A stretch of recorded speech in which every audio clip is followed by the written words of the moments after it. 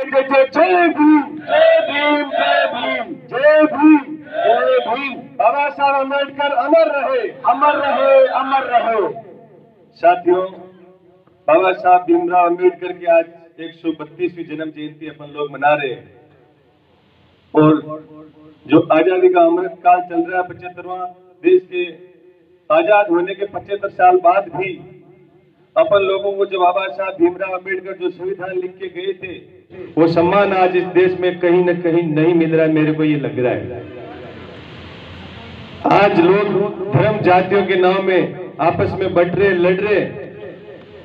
गाँवों के अंदर अपन देख रहे, उस जो अपन लोग मीटिंगों के अंदर आते हैं, वो मीटिंग सुन के चले जाते हैं, लेकिन उसके ऊपर अपन लोग अनुसरण नहीं करते।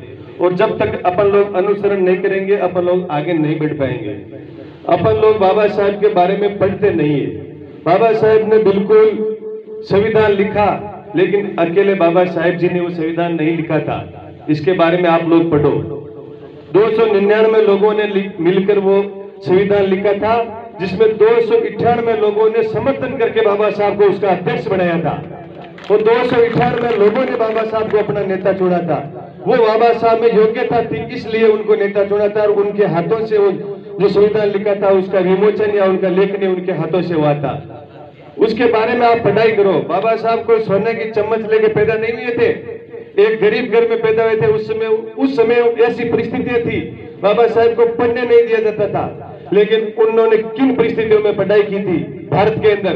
फिर उनको, किसी महानुभाव के द्वारा उनको जो राशि मिली थी इनाम के अंदर, उस राशि के इनाम के पैसों से वो पढ़ के उस मुकाम पर पहुँचे थे। लेकिन आज तो अपन लोगों को हर घर के अंदर सुविधाएँ मिल जाती है, पैसे मिल जाते हैं, अपने परिवार के लोग पैसे देते हैं और सरकार भी आप लोगों को पढ़ने के लिए पैसे देती है, लेकिन अपन लोग पढ़ते नहीं है। सबसे बड़ा मूल मंत्र ये है कि पहले अपने बच्चों को पढ़ाए और जो नशा की प्रवृत्ति में अपने लोग और अपने समाज के लोग जा रहे उससे अपने लोगों को अपन बचाएँगे, जब बाबा साहब के द्वारा लिखे संविधान की तरफ़ अपन लोग आगे बढ़ पाएँगे। और जो गाँव ढाणियों के अंदर रहने वाले मेरे लोग हैं, उनको जो पढ़े लिखे लोग हैं, शिक्षक गण है, जो जो भी अधिकारी गण अपने समाज के, वो पहले अपने समाज को मज़बूत करेंगे, दूसरे लोग मज़बूत नहीं करते। जागृत नहीं करते, वो सोचते हैं कि पढ़ ले, लिख लेंगे कल अपने को सवाल पूछेंगे। जब पढ़ोगे और सवाल पूछोगे, जब भी आप आगे बढ़ोगे। अपने समाज में ये होता है कि कोई भी बच्चा बोलता है, देखो राजनीतिक मंच नहीं है, लेकिन राजनीति के बिना समाज मज़बूत भी नहीं होगा। कोई भी बच्चा अगर कोई राजनेता आता है उससे प्रश्न पूछता है तो अपने समाज के लोग रहने दो रहने दो, बात, बाद में करना। बाद में तो आपकी कोई सुनने वाला भी नहीं है। उनसे आप सवाल जब तक नहीं कर पाओगे, उनसे मुँह पर पूछो आप, आपने हमारे लिए इतने वर्षों में क्या किया? हमने आपके पीछे दौड़ गए जब वो आपके लिए कुछ न कुछ करेंगे। उन लोगों से आप काम लो, जब आप मज़बूत होगे। राजनीति की एक संरक्षण है अपने जीवन के। तो उनसे अपन अगर फ़ायदा नहीं उठाएँगे तो फिर राजनीति किस बात की? बाबा साहब ने अपने फ़ायदा उठाने के लिए अपन लोगों को सबको समानता के लिए कहा था। लेकिन आरक्षण उसमें क्यों दिया? क्योंकि अपने लोगों को वंचित, जो दबे कुचले, गरीब तबके के लोग थे उन लोगों की सुनवाई नहीं होती थी, इसलिए उनको आरक्षण दिया कि इतने लोगों को तो लेना ही पड़ेगा। इसलिए वो आरक्षण हुआ था। तो उस, आप वहीं तक सीमित नहीं रहे। अच्छे पढ़ोगे तो आप जनरल में भी आगे फाइट कर सकते हो नौकरियों के अंदर भी। और जब तक नौकरी, शिक्षा की लाइन में आप आगे नहीं बढ़ पाओगे, जब तक इसी प्रकार अपन लोगों को जो द्वेषता अपन झेल रहे गाँव में, वो झेलनी पड़ेगी। आज पचहत्तर साल होने के बावजूद भी गाँव के अंदर कई बार देखते हैं, अखबारों में अपन पढ़ते हैं हमारे जो गरीब तबके के समाज एस सी के भाई है उनके साथ में बहुत सारी बार भेदभाव होता है। शादियों के अंदर उनको घोड़ी पे नहीं चढ़ दिया जाता है। क्यों? हम अधिकारियों से पूछते हैं डीएम साहब आप लोग हम लोग हमारे जो समाज के लोग आपका जब इस मंच के माध्यम से नंबर आए आप इस समाज के लोगों को विश्वास दिलाए कि कहीं भी क्षेत्र के अंदर आपका सामाजिक प्रोग्राम हो आप घोड़ी पर कहीं भी बैठ के घूम सकते हो अधिकारी आप इनको प्रो, प्रोटेक्शन देने वाले लोग हो। ये इस प्रकार के जो भेदभाव गाँव में हो रहा है, वो नहीं होना चाहिए। बहुत सारे गाँव ऐसे हैं जहाँ पे मेरे छोटे भाइयों को मंदिर के अंदर नहीं घुसने दिया जाता है। उन वो आप भेदभाव मिटवाए और सभी को समानता का अधिकार दिलवाए, उसमें ये जनता सिर्फ़ अधिकारियों से आस रखती है, नेता तो फ़ोन बंद कर लेते। तो उसमें आपसे निवेदन है कि समाज को हमेशा साथ लेके जागृति की ओर नई उम्मीद और उन्नति की ओर बढ़ाने में आप इनका सहयोग करें। धन्यवाद। और पूरी वेलफेयर सोसाइटी और बाबा साहब के अनुयायियों का मैं धन्यवाद ज्ञापित करता हूँ कि आपने इस मंच के ऊपर मेरे को बोलने का मौका दिया और मान सम्मान दिया। इसके लिए मैं हमेशा के हमेशा के लिए आपका ऋणी रहूँगा और एक सोसाइटी के जो भी आप यहाँ पधारे, उनसे मेरा निवेदन रहेगा कि जो बाबा साहब की मूर्ति अगर मकराना में लग रही है तो मकराना पुलिस थाने के सामने जो चौक है, वहाँ पे लगवाए ताकि उसका प्रोटोकॉल पुलिस थाना वहाँ पे हमेशा उस मूर्ति की सुरक्षा करे और इस समाज को हमेशा हमेशा के लिए छोटी छोटी चीज़ों के लिए, लड़ने के लिए वहाँ पर खड़ा नहीं होना पड़े और पुलिस के सामने वो मूर्ति रहेगी। तो हमेशा जो भी बाबा साहब के अनुयायी है, वो वहाँ से गुजरेंगे। और मैं तो ये निवेदन करूँगा कि जो लोग अगर वो मूर्ति लगा रहे तो मार्बल की नहीं लगा के वो मूर्ति अष्ट धातु की लगवाए, ताकि उसके खरोज में नहीं आ सकती कभी भी। ऐसी मूर्ति इस बाबा साहब की, इस मकराना के प्रांगण में लगे। और आपके समाज के साथी मुझे जहाँ भी याद करेंगे, मैं खड़ा मिलूँगा। लेकिन इस सोसाइटी के और मंच के माध्यम से आप हमेशा इकट्ठे नहीं होते, छोटी सी बात कहूँगा कि अपने समाज के लोगों के जहाँ भी दिक्कत है उस समय आप ये नहीं सोचे कि इस समय आज समाज का नेतृत्व गंगाराम जी कर रहे हैं। या ये ये नहीं सोचे कि वहाँ पे रामचंद्र जी उसका नेतृत्व किया मंगना राम जी कर रहे हैं कोई भी समाज का लोग दुखी पीड़ित किसी भी परिस्थिति में हो उसमें आप सभी लोग फ़ोन के मैसेज और समाचार के साथ उसके साथ पीठ पर आप खड़े रहोगे तो आपका समाज ऑटोमेटिक मज़बूत होता चला जाएगा पिछली बार हमने दो तीन बार देखा है थानों के अंदर हमारे मजदूर भाई एस सी के खत्म हो जाते हैं उस समय लोग डरते आते नहीं है सामने कि क्या होगा अरे उनके आप समाज के लोगों के साथ में अगर खड़े नहीं हो पाओगे तो उनको न्याय नहीं मिलेंगे। उनके बच्चों की आपको बदुआएँ मिलेगी जो समाज में आप लोग प्रतिनिधित्व या आप समाज का नेतृत्व करते। उन सब लोगों से मेरा निवेदन है, कैसी भी परिस्थिति हो, डरना नहीं है, घबराना नहीं है और खुलकर अपने समाज के साथ में आप खड़े होकर लड़ो। आपका समाज हमेशा आपको याद रखेगा। आज बाबा साहब को पूरा देश याद रख रहा है तो बसंत इस रथ पे रख रहा है कि उसने पहले अपने समाज की सुरक्षा और आज प्रोटोकॉल मिल रहा है। वो बाबा साहब की देन है। उन्हीं की तर्ज पे आज अपने समाज के लिए लड़े। हमेशा आपको समाज याद रखेगा। अपने दिलों में आपका राज करोगे। धन्यवाद। जय हिंद जय भीम। बहुत बहुत धन्यवाद। दूसरी सरपंच श्रीमान जय भीम जय भीम। जय भीम। जय भीम साहब सबसे पहले आज बाबा साहब के जन्म दिवस पर आप सभी को हार्दिक बधाई शुभकामनाएँ। और जैसा कि अभी बताया, सभी मैं तो देखा नहीं, लेकिन रैली जो आज की जो, पिछली बार जो रैली थी, उससे अच्छी। आज भी मैं देख रहा हूँ, जो भीड़ है, पिछली बार जो फ़ंक्शन था, इसी जगह था, मैं भी था यहाँ पे। कुर्सियाँ नज़र आई थी, लोग कम थे, अब की बार ज़्यादा हैं लोग, और कुछ लोग बाहर से भी चले गए, क्योंकि गर्मी है, और पंडाल भी शायद छोटा है। अगली बार थोड़ा बड़ा बनवाइए इसको, बाहर तक लगवाओ तो मैं अपने विचार व्यक्त करूँ, उससे पूर्व वक्ताओं द्वारा कुछ बातें मैंने सुनी तो उस हिसाब से मैं कुछ कहना चाहूँगा उसमें। अक्सर अपन देखते हैं लोग कहते हैं कि साहब जो भारतीय संविधान बना, उसमें बहुत सारे सदस्य थे और अकेले उनका योगदान नहीं था। जो शायद वो उन्होंने पढ़ा नहीं है कहीं। संविधान निर्मात्री सभा में 389 मेंबर थे। ठीक? लेकिन संविधान को लिखने का काम ड्राफ्ट कमेटी को सौंपा गया, उसमें मेंबर कम थे, उसके जो अध्यक्ष थे, वो बाबा साहब थे। और उस कमेटी में जो मेंबर थे, वो सारे लोग जो है बिज़ी थे। या तो कोई बीमार था, या कोई विदेश चले गया, या किसी को टाइम नहीं था, क्योंकि ज़्यादातर लोग उसमें वही मेंबर थे, जो पैसे वाले थे उस समय में। तो सारा भार जो था, बाबा साहब पे आया और सब, बाबा साहब ने पूरी मेहनत करके सारे, बहुत सारे देशों के संविधान को पढ़ के और इसको इतनी मेहनत लगन से दो वर्ष ग्यारह महीने, अठारह दिन में बनाया उसको। इसीलिए बाबा साहब को संविधान निर्माता कहते हैं। तो बाकी मेंबर्स का कोई रोल नहीं था। नगण्य था। दूसरा जो घोड़ी पे चढ़ने वाली बात है कि लोग घोड़ी पे चढ़ने नहीं देते तो वो लोग कौन है जो चढ़ने नहीं देते? वो मानसिक रूप से बीमार है।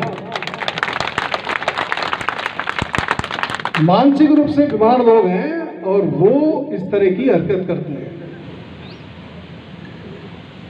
और रही बात हमारी तो अगर पहली बात तो ऐसा मैंने मेरे अभी इतने साल के कैरियर में कभी ऐसा, मेरे क्षेत्र में कभी ऐसा घटना हुई नहीं और होगी तो उसको उस शक्ति से निपटा जाएगा कि वो याद रखेगा कि दोबारा ऐसी घटना ये मैं आपको आश्वस्त करता हूँ।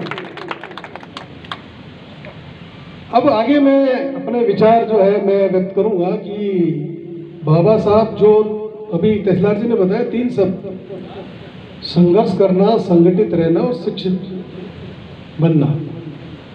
ये तीन ही मूल मंत्र थे। असल इसमें पूरा बाबा साहब का जीवन है इन तीन शब्दों में। अगर आप अच्छे से गौर से उसको पढ़ें और देखें।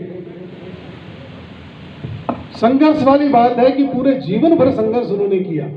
और उन्होंने जो संघर्ष किया और जो उनके सामने जो कठिनाइयाँ थी, मुझे नहीं लगता कि आज किसी के सामने है वो। क्योंकि वो जो संग हम कर सकते थे, हमारे सामने आती वो परिस्थितियाँ, लेकिन उन्होंने वो व्यवस्था कर दी। कि आज हमको वो सब झेलने को नहीं पड़ रहा है। कुछ भी नहीं है। आज हमारे साथ जो अभी कई जगह सुनने को मिलता है, अभी भाई कई लोगों ने इस तरीके से कई एट्रोसिटी के केस भी दर्ज हुए लेकिन जो संग जो उन्होंने देखा था, अब आपको बताऊँ मैं घटना उन्नीस सौ उनतीस की घटना। बाबा साहब 1913 में 22 साल की उम्र में अमेरिका चले गए थे पढ़ने के लिए। वहाँ से लौटे उसके बाद की घटना है ये वो कहीं प्रोग्राम में किसी अपने दलित भाइयों ने बुलाया। स्टेशन पे वो लोग वहाँ पे पहुँचे। वहाँ उनका स्वागत सत्कार किया। और सत्कार करने के बाद में उन्होंने कहा कि साहब हमारे घर चलो। जैसे कि कोई गेस्ट आता है तो सब आ, ले जाते हैं हमारे घर चलिए। तो बाबा साहब ने कहा ठीक है चलो। तो पहले स्टेशन इतना आज की जो सुविधा है वो थी नहीं वैसे। उस समय तांगे चला करते थे। तो बाहर जब देखा तो वो तांगे वाले जितने भी थे, उन्होंने सबने मना कर दिया, भैया, हम नहीं लेके जाएँगे। क्यों? वो क्योंकि वो दलित थे, अछूत थे। ये नहीं था कि वो उतना पढ़े लिखे थे, वहाँ से पढ़ के आए इंग्लैंड से, बाहर से, अमेरिका से, लंदन से, इतनी डिग्रियाँ ली। कोई मतलब नहीं इनको। क्योंकि उनके जो विचार, जो उनकी मानसिकता जो है, वो उस कदर है कि मैं बता ना उसका शब्द वो मानसिक बीमार थे। तो जब किसी ने वहाँ सारे तांगे वाले भागे एक ने बड़ी मुश्किल जाके उसने हिम्मत की कि भाई चलो ठीक है, मैं ले चलूँगा। लेकिन मेरी एक शर्त है कि मैं नहीं चलूँगा तांगा आप बैठो और आप खुद ही हको चलो मैं पैदल पैदल चलूँगा देखो, आप उस बीमार आदमी की कि वो पैदल पैदल चल रहा है घोड़ी के साथ में, और उनको दे दिया तागा वो बैठ गए। अब किस्मत खराब थी। क्योंकि वो जो चलाने वाला था, वो भी बेचारा उसने वैसे आके तो आगे चला तो तांगा भी पलट गया। और वो गिर गए और बाबा साहब गिर गए, उनको फ्रैक्चर भी हो गया उसमें। आप सोचिए, इतना पढ़ा लिखा आदमी, जब उनकी उम्र रही होगी करीब अड़तीस साल के आसपास, उन्होंने जो दर्द, जो मानसिक वेदना उस वक्त उनको हुई होगी, और जो शारीरिक वेदना जो पैर टूटने की वजह से उनको हुई होगी, वो पूरे जीवन भर उन्होंने उनके मन में उनके जो क्या चला होगा, आज आपके साथ में, अपने साथ में एक छोटी भी घटना होती है तो पूरा हिल जाता है। उनके साथ में पानी पीने की घटना, मटकी वटकी का इनका सब बहुत सारे आपने पढ़ा होगा इसमें और जो स्कूल में कॉलेज में बच्चे पढ़ रहे हैं, हमने भी पढ़ा है तो वो सारी बातें पढ़े, जानते हो सारी बातें क्या क्या हुई थी। लेकिन वो जो दंश, जो जो क्या कहेंगे उसको? क्या शब्द है ऐसा जो मतलब वो मतलब व्यक्त नहीं कर सकते? इतना घिनौना काम जो उन्होंने, इतनी चीज़ें जो उन्होंने झेली, उसके बाद में उन्होंने देखा कि ये मैं तो इतना पढ़ा लिखा मेरे साथ हो रहा है, बाकी ये तो बेचारे जो बैठे हैं, जो वहाँ पे उस वक्त थे, लोग जो अनपढ़ थे, पढ़े लिखे नहीं थे, उनके साथ तो क्या होता होगा, आप जानते हो? और उन्होंने अपने बच्चे, अपने परिवार, इन सब का एक तरीके से सेक्रीफाइस किया। उनके पाँच बच्चे थे। चार एक्सपायर हो गए पहले ही। एक बच्चा जो बचा था, यशवंत राव जी, जिनके बेटे प्रकाश जी अंबेडकर आजकल अपन देखते हैं, वो अकेले बचे। जो उनका, अगर वो इतने मतलब आज़ादी के बाद में वो मंत्री भी बन गए थे, फिर उन्होंने अपने सिद्धांतों समझौता नहीं किया और मंत्री पद भी छोड़ दिया। वो चाहते हैं तो अपना जीवन और भी अच्छे से गुजार सकते थे, व्यक्तिगत जीवन। लेकिन आप सबके लिए उन्होंने वो सारे सेक्रीफाइस किए और उनकी बदौलत है कि आप भी यहाँ बैठे हैं और मैं भी यहाँ बैठा हूँ, मैं वहाँ बैठता हूँ सामने ऑफ़िस में बिकॉज़ ऑफ़ हिम उनकी वजह से। ये हमको नहीं भूलना चाहिए। दूसरी, उन्होंने जो देखा, उस समय कालीन, चूँकि उन्होंने हिंदू धर्म छोड़ दिया था बौद्ध धर्म अपनाया 56 में। आठ लाख अनुयायियों के साथ में बौद्ध धर्म अडॉप्ट किया। क्यों? क्योंकि उन्होंने ये देखा कि जो बाकी दो धर्म थे, हिंदू धर्म में तो पैदा हुए थे।